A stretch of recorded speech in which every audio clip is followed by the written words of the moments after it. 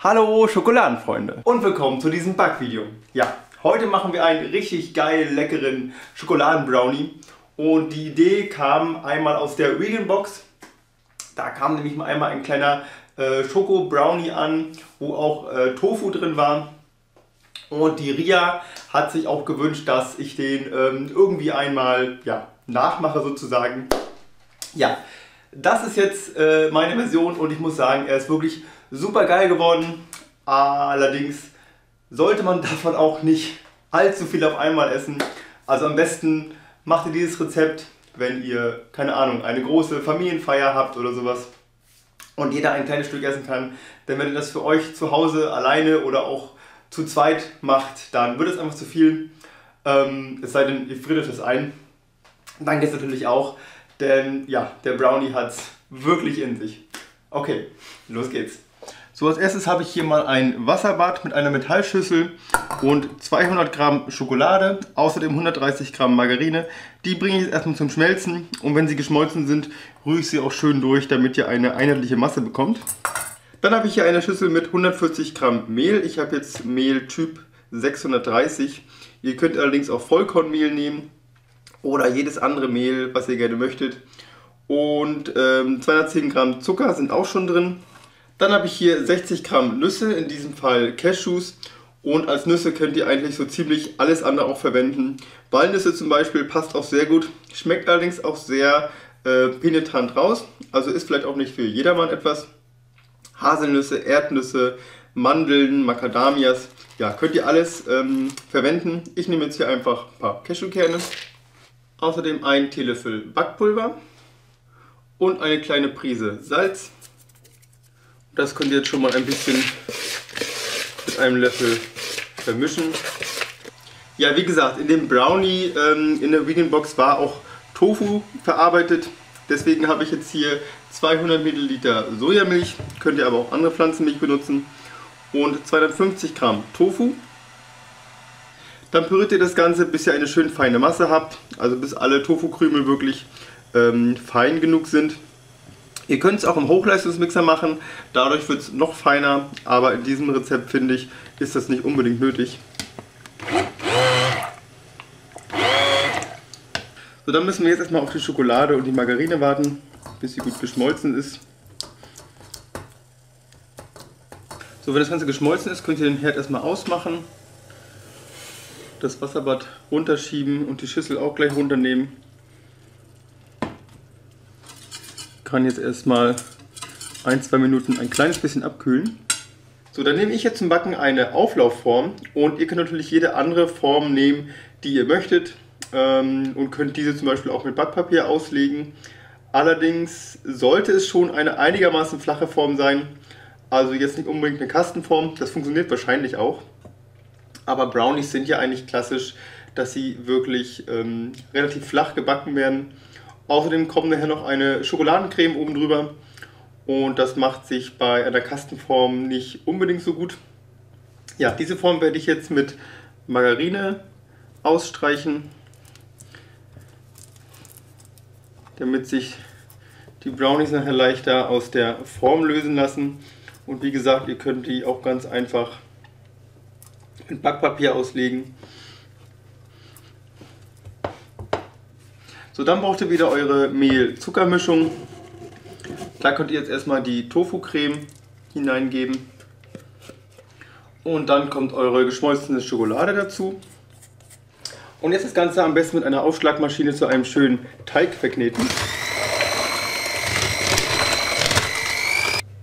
So, der Teig muss jetzt nur noch in eure Backform so, der kommt jetzt bei 180 Grad in den vorgeheizten Backofen und zwar ungefähr für 20 bis 25 Minuten. Bei mir sind es meistens so 22 Minuten. Das kommt aber immer auch auf eure Backform an und natürlich auch auf euren Ofen. Dass er fertig ist, das seht ihr am besten daran, dass der Rand sich schon gelöst hat von der Schale und ähm, auch ein kleines bisschen braun wird.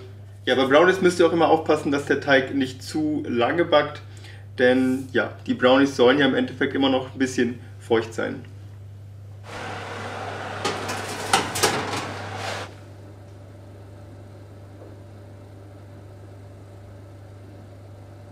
So, das waren jetzt wie gesagt 22 Minuten. Mal schauen. Ja, sieht perfekt aus. Den holen wir jetzt erstmal raus. So, solange der jetzt kurz abkühlt, braucht ihr jetzt nochmal 100 Gramm Schokolade. Die habe ich hier schon mal über den Wasserbad geschmolzen. Und wenn ihr möchtet, könnt ihr den Schritt jetzt auch äh, weglassen. Wenn euch das Ganze jetzt einfach ähm, ja, zu schokoladig wird, dann könnt ihr den Brownie auch einfach so wie jetzt ist lassen, abkühlen und dann so essen. Aber ich mache jetzt nochmal eine schöne äh, Schokoladencreme oben rüber. Die ist auch ganz einfach, die besteht eigentlich nur aus zwei Zutaten. Ihr braucht hier 100 Gramm Schokolade, wie schon gesagt, die ihr erstmal geschmolzen habt.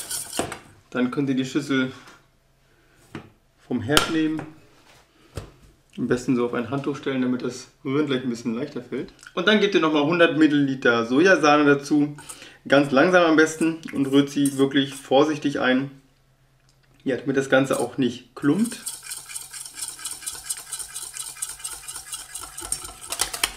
Dann nochmal alles schön durchrühren, bis sich die beiden Zutaten richtig schön vermischen und ihr so eine wunderbare Schokoladencreme bekommt. Und die Creme verteilt ihr jetzt am besten gleich auf eurem heißen Brownie-Teig. Am besten mit so einem Schlesinger. Es gibt auch welche, die solche Zacken haben. Da könnt ihr auch schöne Muster reingeben. Erstmal die Creme auf den Brownie geben und dann schön flach verteilen, ein bisschen die Ecken rein. So, und fertig ist euer Brownie. Der muss eigentlich nur noch geschnitten werden, aber ich werde ihn jetzt erstmal eine Weile abkühlen lassen, circa eine Stunde denke ich. Sollte er noch so ein bisschen lauwarm sein und dann können wir kosten. Also bis gleich. So, der Brownie ist jetzt ein bisschen abgekühlt. Dann schneide ich ihn jetzt mal an. So, und so sieht euer Brownies von innen aus. Also wie ihr seht, hier echt noch ein bisschen feucht unten. Allerdings nicht klitschig. Einfach durch den Tofu, die Sojamilch und ähm, auch die Schokolade wird der einfach feucht gehalten. Und ja, sollte eigentlich nicht so leicht trocken werden.